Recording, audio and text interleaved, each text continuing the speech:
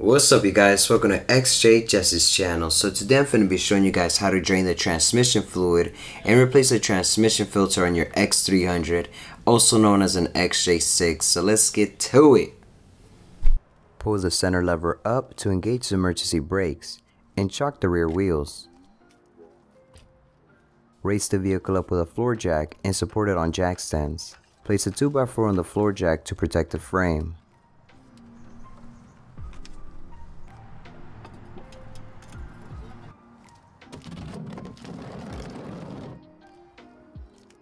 Some transmission pans on the XJ6 are equipped with an H5 drain plug. If yours has one, remove it and drain the fluid. If yours doesn't, skip this step.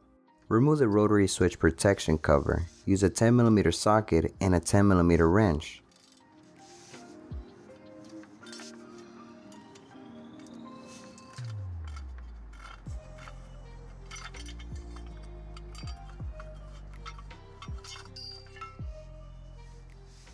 Remove the transmission dipstick tube nut. Uh, use a large adjustable wrench. This hex nut is on hella tight. Use a floor jack handle to slide it over the wrench to give you more leverage.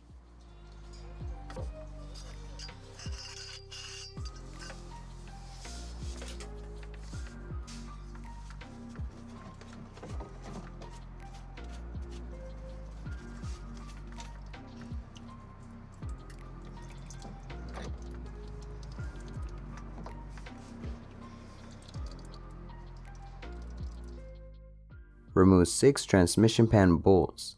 Use a 10mm deep socket and a 3 inch extension helps on the exhaust side. Pay close attention to the bolts, the side ones are different. Now with the pan down, remove the transmission filter. The filter has 3 T25 Torx bolts.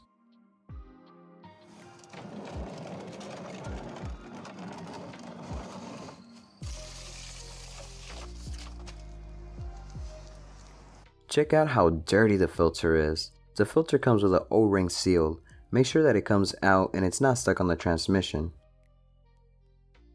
Remove the old gasket.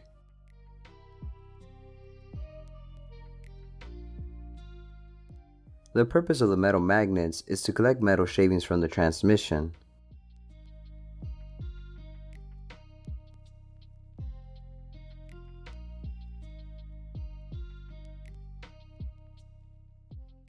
This is from the two magnets that I just wiped clean. Spray down the transmission pan with brake cleaner and wipe clean.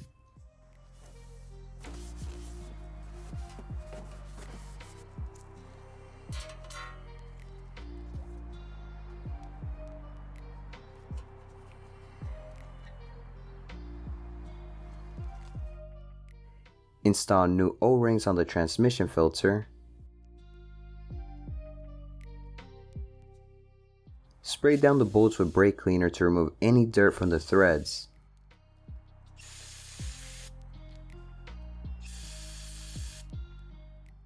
Install the new filter and torque to 6 foot-pounds and clean the mating surface. Hand tighten the bolts all around. Using a crisscross pattern, torque down with 10 foot-pounds.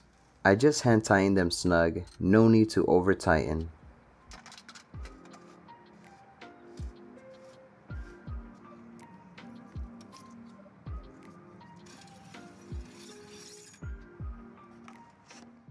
Refill the transmission fluid through the dipstick. Pour 4 quarts of Dexron 3. The brand is your preference. Start the car and check for leaks.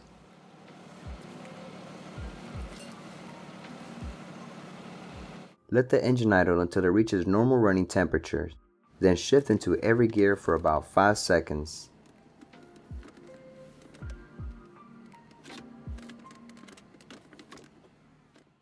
With the car running and no longer on jack stands, check the transmission fluid level.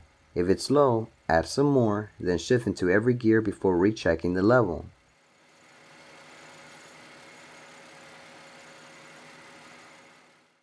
The transmission fluid should be above the hot line.